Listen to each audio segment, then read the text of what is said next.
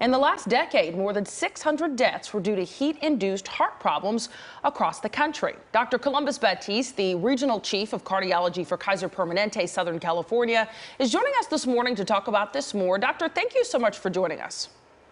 Good morning. Thank you for having me. Good morning. Yes, one of the biggest stories, of course, this week was Bronny James suffering from cardiac arrest.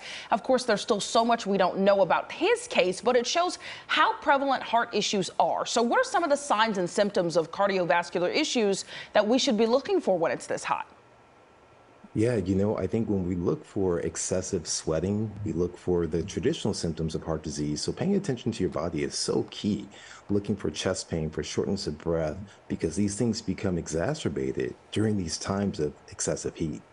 You know, I think when some people start to feel some of those symptoms, uh, they're like, oh, you know, it's nothing, right? Mm -hmm. Oh, mm-hmm. it'll be okay. But as soon as you feel those symptoms, what is the first thing you should do? Well, the first thing you should do is you need to go to a cool space. And that can be hard depending on where you live in these microclimates in California. But go to a cool space and air condition, remove some of the loose clothes, put a cool towel on your head, mm-hmm. and then maybe even uh, and then drink some water are some of the things that you need to do. And then we know that air pollution can make things even worse during these extreme temperatures. How can this affect people as well? Well, we know that with every one degree Celsius increase, or we call it 33 degrees Fahrenheit for us, uh, increase in temperature, there's a rise of nearly 4% increased risk of cardiovascular deaths.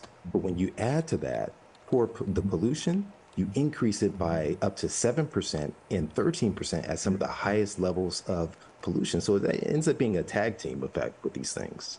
Dr. Batiste, I want to ask you, uh, you yourself as a doctor, uh, how many patients are you seeing? Are you seeing more patients coming in to the hospital for heat-related illnesses? You know, it, it varies. So at that time, that's one of the questions that we've begun to ask, especially inside the Inland Empire, is to really kind of find out what their habits have been like. And part of it is amplified by their medications. So some patients are on medications that cause them to lose fluids. Others are on medications that may prevent them from sweating, allowing their body's natural process from releasing the heat. And so these are the things that come in, into play. And so that's why it's so important getting with your healthcare professional to make a plan during these massive moments of heat wave. Yeah, and we definitely have more high temps this weekend and for the foreseeable future. Dr. Batiste, thank you so much for joining us this morning. Thank you. And you can find all the information for this segment on our website, kcalnews.com slash seen on TV. Good information there. Yeah.